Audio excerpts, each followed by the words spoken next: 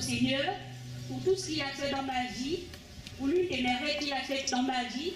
En fait, l'année dernière, en 2014, j'étais enceinte et euh, en début de grossesse, je suis allée à l'hôpital pour voir le gynécologue.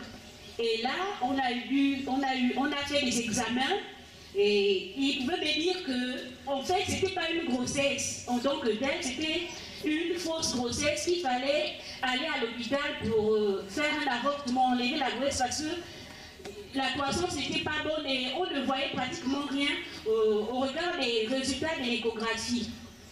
Et j'ai fait le compte rendu à mon mari, arrivé à la maison, et on a pris la résolution de ne plus repartir chez ce, médecin. Je me suis confiée à certaines sœurs, on a prié, on a dû prier, je suis restée comme ça. Un mois après, je suis repartie à l'hôpital, et là, je suis allée voir un autre gynécologue. Et euh, on, a fait, on a encore fait des examens, on a fait une échographie, et il me disait qu'il fallait revenir parce qu'il ne comprend rien, il fallait revenir après deux semaines. J'ai encore fait le compte rendu à mon mari. Et après deux semaines, je suis repartie. Et on a fait un autre examen. Et il m'a annoncé que c'était effectivement une grossesse, une grossesse jumelaire. Et là, je bénis le Seigneur, on est resté là. Mais c'était vraiment une grossesse difficile. Difficile, je bénis le Seigneur. Et lorsque j'allais à chaque fois faire des visites, le gynécologue me dire que comme c'est une grossesse jumelaire, je n'attendrai pas sept mois.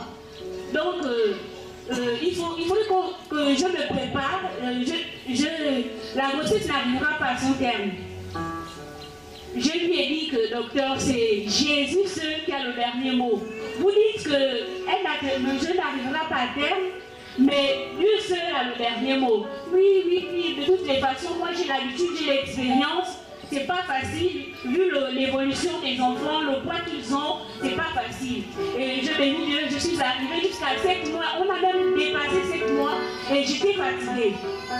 Le jour de l'accouchement, je vais en salle d'accouchement et euh, dans la salle, je trouve une femme, elle était aussi en travail.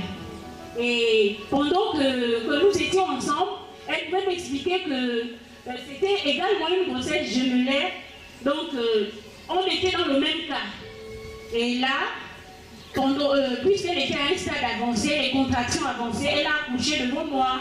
Et les deux enfants sont, euh, sont, sont nés devant moi, mais malheureusement, elle a perdu ses deux enfants. Et j'ai commencé à paniquer. Je disais, Seigneur, qu'est-ce que Dieu veut montrer par là? Vu que nous sommes dans le, dans le même cas, qu'est-ce qui va réellement se passer? Et je bénis Dieu quand le, médecin qui me, le, qui me suivait est arrivé. Il m'a dit que c'était compliqué pour moi, il fallait aller au blog. Et nous sommes partis, il m'a amené au blog. Les enfants sont sortis. Et il criait tellement fort dans la salle que la femme, la femme qui était dans la même situation que moi, qui était en train de pleurer, c'était vraiment difficile pour, elle. Donc en fait, ce matin, je vais rendre grâce à Dieu. Je réalise encore que je n'ai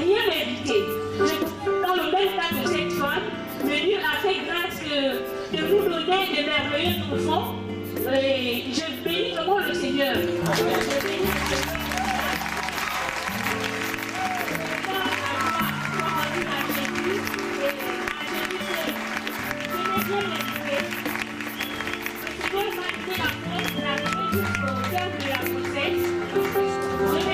Seigneur.